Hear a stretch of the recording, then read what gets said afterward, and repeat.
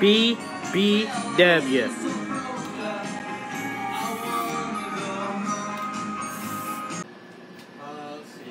B B no well just write BBW on the mat. I was thinking it could say BBW here and then bash at the sloodge here and then BBW on the sides.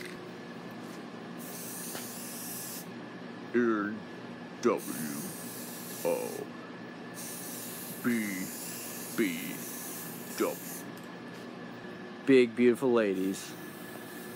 Big beautiful women. Women, I'm sorry.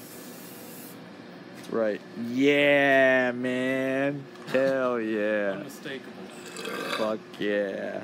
So is this day three? The, the This is day three, yeah. But there's something very strange about how wrestling is a mattress. You know, even in the WWE, when they're at, you know, the Pontiac Superdome or whatever, it still is two guys and basically what's sort of metaphorically a giant bed. BBW, BBW. If we could get like good photos of all this. Yeah. I'll take them. And like Dude. video. I'm not doing shit.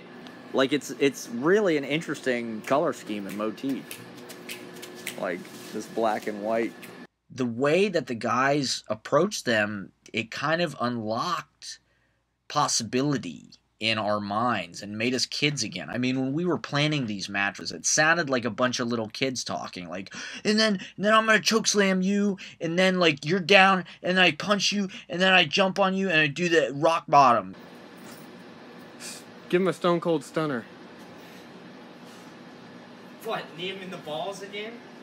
Kick him in the chest?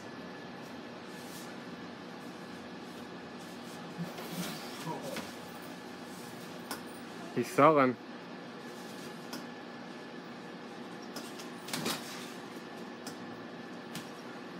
How's that leg drop? That's good. Is that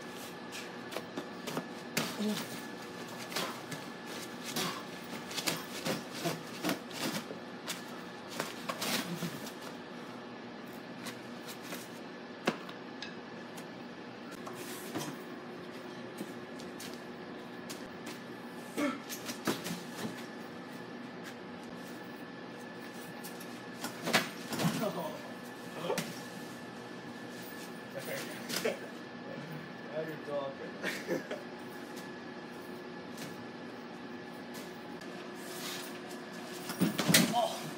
Whoa.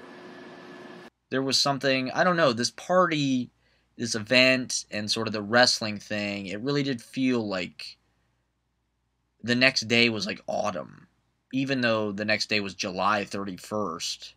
When it was over, it was like something had broken and crested and fallen back. The thermometer had sort of apexed.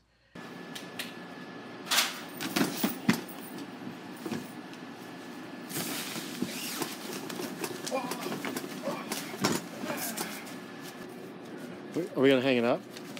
Yeah, yeah, sure. Honor tradition of Roman flag. And then we're gonna drop it. Yeah. Whoa.